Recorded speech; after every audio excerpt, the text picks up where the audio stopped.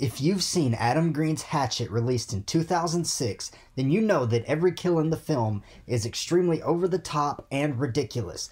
But did you know that Adam Green had a no CGI rule for post production, only using CGI to remove wires and camera setups?